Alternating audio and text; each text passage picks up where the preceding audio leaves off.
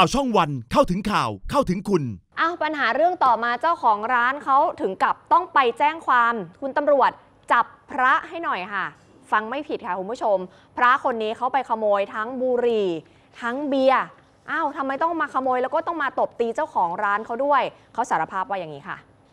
ไม่เมาไม่เอา ไม่ใช่เมามาก่อนนะ ไม่เมา มาถึงก็มากินที่นี่เลยเหรอ เอาเมามาก่อนใช่ไหมไอ้น้องน้องเมาเขาเมามาก่อนใช่ไหมไม่อยู่นี่ครับเขาสั่นมาก่อนเลยเนี่ยเอาเครื่องเป่ามาลองเป่าดูไม่ไม่เขาเมามาก่อนแล้วไม่เมาแล้วยังไงอืมยังไงเมาหรือไม่เมายังไงเออดูสภดูสภาพตอบคำถามรู้เรื่องไหมคะเออดูตอบไม่ค่อยรู้เรื่องตำรวจสพบ้านโคกค่ะ จับกลุ่มพระจำรัดอดีตพระแล้วล่ะ ไม่ขุนทศอายุ 56 ปี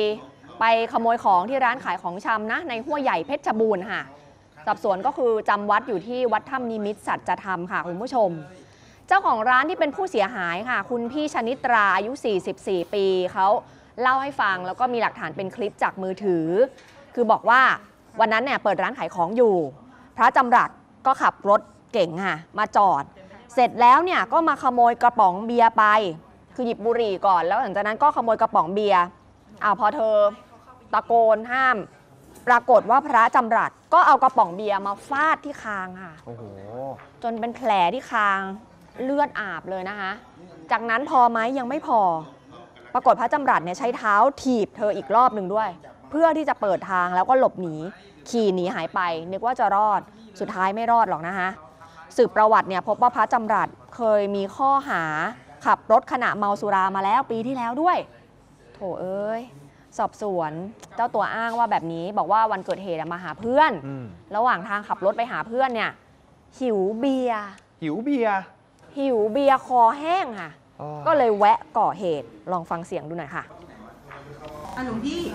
นอกจากหิวเบียร์แล้วเราไปทำร้ายผู้หญิงทำไมอะ ไปตีเขาทำไมเออหิวเบียร์ทำร้ายเฉยทำร้ายเฉยๆแค่หิวเบียร์ๆเออแค่หิวเบียร์กินบ่อยไหมเบียร์กินบ่อยกินบ่อยไหมกินสองกระป๋อง ก่อนหน้านั้นนะไม่กินไม่วันกินวันอื่นที่ผ่านมา ไม่กินเลยเจ็บแล้วเนี่ยสองกระป๋องจริงเหรอฮะก็แค่เหรอฮะไม่ใช่ก็แค่นะฮะก็แค่หิวเบียร์ก็สแค่องกหิระวป๋องเบียร์ทำก็เลยไปทำร้ายเขาอืมแล้วตัวเองเนี่ยคือครองสถานะคือเป็นพระไง มันผิดทั้งศีล แล้วเอาในด้านคดีคือมันก็ ฟังเหตุผลไม่ขึ้นน่ะอืมคุณเมาคุณไปขโมยแล้วไปทำร้ายเขาทำไม อ้าวหลังจากจับจับกลุ่มตัวได้ก็นำตัวไปทำแผนนะคะ ตั้งแต่ขับรถเข้ามาเดินลงไปขโมยบุหรี่ก่อน แล้วก็ไปหยิบเบียร์เพื่อจะขโมยเบียร์แล้วก็เอากระป๋องเบียร์ฟาดที่คางเขาก่อนที่จะถีบเขาแล้ววิ่งหนีไปเนี่ยนะคะ ทางด้านของเจ้าของร้านบาดเจ็บก็ต้องรักษาตัวต่อเนี่ยนะคะต อนนี้ก็บอกว่าเหตุการณ์ที่เกิดขึ้นนี่โหทำเอาระแวงเลยอะอืมต่อไปนี้ก็คือเวลาขายของอะไร เรานึกว่าเป็นพระปกติเราเห็นเรากราบไหว้ไง ใช่ ซึ่งจริงๆก็คือเขาเป็นพระนั่นแหละ แต่ตอนนี้ก็คือเป็นอดีตไปแล้วอืมต้องพาไปสึกกันต่อนะคะ เป็นคดีความหนักเลยค่ะ